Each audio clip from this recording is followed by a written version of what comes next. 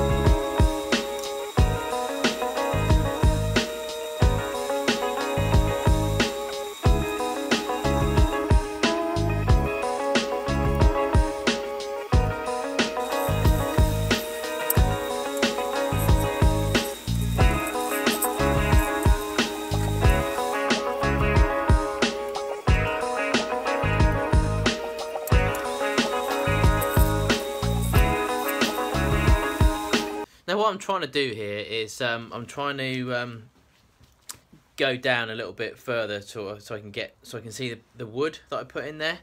Because um, that's going to give quite a good effect on one side really. Although it's a little bit of a shame because I've got quite a nice bit of blue there. I don't know if you can see that. So I've got quite a nice bit of blue here which looks quite cool. And then there's the wood there obviously that goes runs along down there. You'll see it inside in a minute uh, this looks all quite nice. I think this was going to come up really well. Really quite excited about this actually. I'm really liking this. I think this is going to come out really nice. You can see what I finished off here. Um, if this does work out really well, I'm going to make a few more of these. Um, um, the wood I put in here, yeah, it's okay. It's, uh, you know, maybe it could have been maybe a little bit more interesting, but that's probably why they do use the worthless wood, I suppose, because it's all kind of like bumper tee and stuff like that. Whereas this is just kind of plain block. I'm not sure whether I should take this off, this blue, because I think this blue is going to come up really nice. Maybe I should just try and uncover a little bit more of the wood here. But if I lose that blue, that's the only blue that I've kind of really got in here. So I don't know whether to lose that or not. I might keep that blue there. I'm going to take this down a little bit further and see if I can just creep a little bit more of the wood in as I go along and see how I get on with that. The only thing I hate about doing these, um, I don't hate it, but the resin mess, the mess that it makes. um, you get all these like kind of stringy bits of resin and it makes a hell of a mess of the shop, really does. And to clean up the shop every time. Oh, it's a nightmare. But um, nevertheless, let's get on with it.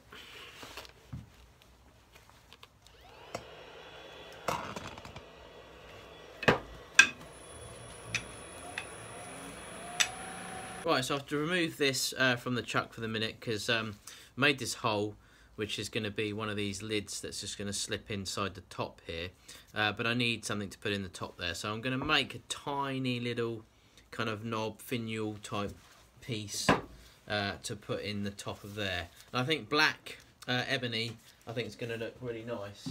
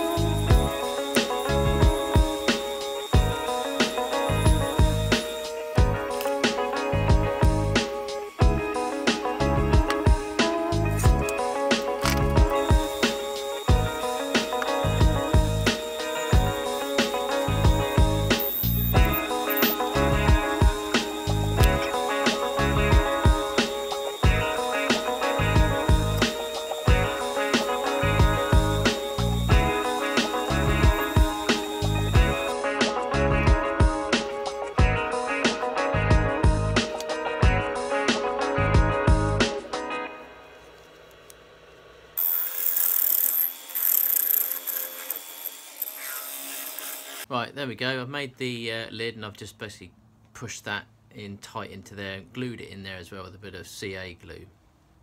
Um, this is a different uh, kind of knob finial type piece than you saw me make just a minute ago. The other one I made, where is it?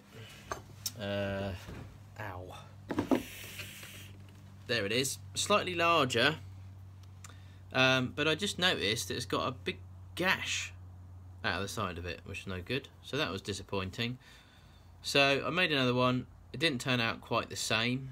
Uh, a little bit smaller this one, but um, nevertheless, it's done now. So, so that's the lid. Now we need to get the lid to fit the uh, fit the base.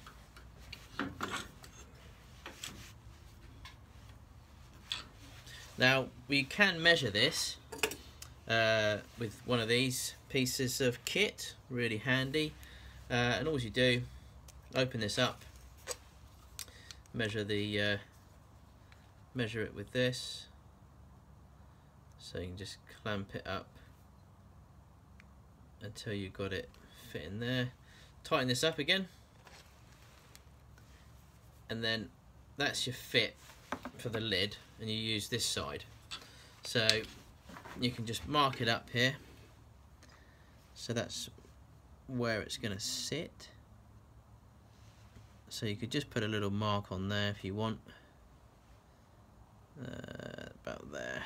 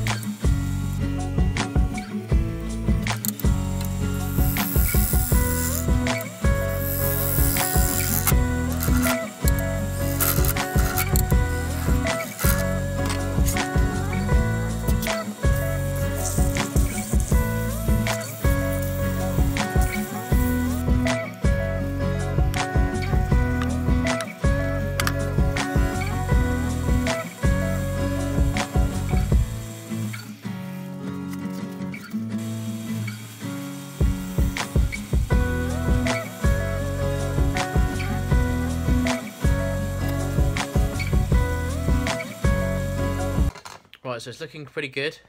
Um, I've done a couple of coats of the sanding sealer on it, um, and I've done a Yorkshire grit. So I'm just about to apply a final finish. And I might spray this one as well with a little bit of uh, uh, the melamine lacquer just to bring it up. But I think this is this is looking quite nice actually. So uh, let's put this on now.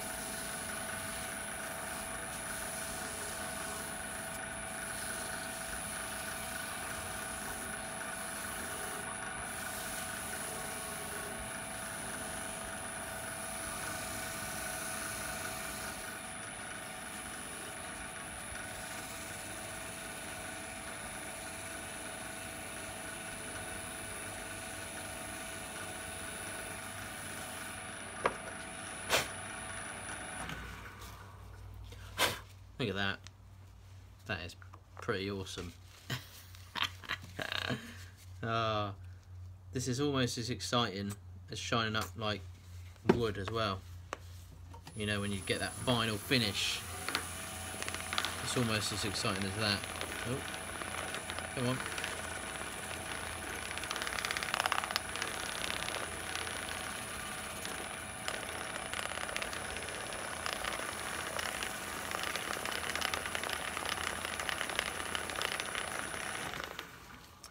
Let's get that uh, fitted in there a bit more tighter than that so we can get a finish on it.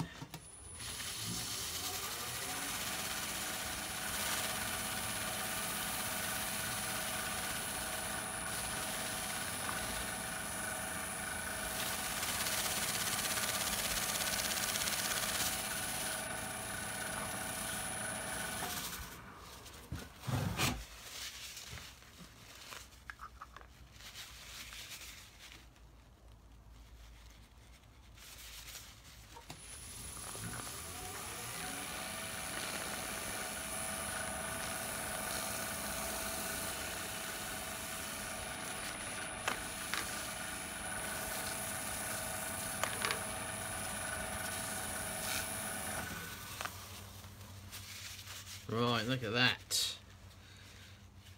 Hey, it's almost finished, but not quite finished. I just need to finish off the base, which really, I just need to flip this over and then just tidy up the base and put my emblem in the bottom. Simple as that, really. But that looks awesome. I really love that. I really love it. Right. Done. There it is. I'm pretty happy with that actually. Um, I had no idea this was going to come out in this way, um, and now I know that that this uh, the way that I've made this resin with this wood works.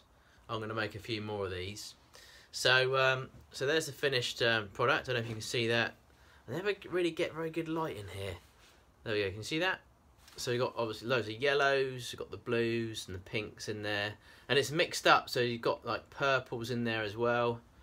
Um, made a little um, sort of finial. I don't know if you call it a finial or not really. I don't know if the finial means it's longer, or if a finial just means it's top. I don't know. But anyway, made a little knob thing for the top, and this sort of opens up inside. I can't see anything. No, it's not very good lighting here, is it at all? This doesn't really do it justice. Seeing it in the flesh is much better, trust me. I will take some pictures and put them up, but this looks really nice. I am quite impressed with this. Um, I never expected it to come out anywhere near like this. Um, the colours in it are fantastic, and the wood in there just really makes it uh, a unique piece. Lots of purple in there. Um, lots of really nice bright blue in there as well. It's a really nice pot that is. I, I love it. I, I really do love it. I really hope you guys do. I know that there's going to be a few of you that are not going to like it. But I do hope that you like uh, the pot. Um, any comments, please, you know, put them below. I try and get back to as many people as I can, as always. Um, thanks for watching and thanks for sticking with me in my shop. Um, I really appreciate um, the viewers. Um, it's what you know. This is what I do it for. I do it for you guys so that you can maybe just watch uh, what I do, learn, pick up some ideas. Um, I don't know. Laugh. You laugh about what I'm doing. I don't know. As long as it's entertaining for you guys, then I'm happy. Um, the lid fits a little bit wobbly, a little bit wobbly in there, but it's not a bad fit. But could have been a little bit tighter, but you know, you're going to come across a few problems along the way. Uh, so there it is. Thanks very much for watching. I appreciate everything. Um, likes, comments, dislikes. Well, not so much the dislikes, but nevertheless. Thanks very much for sticking with me. Uh, I'll see you again in my shop soon. Cheers, bye.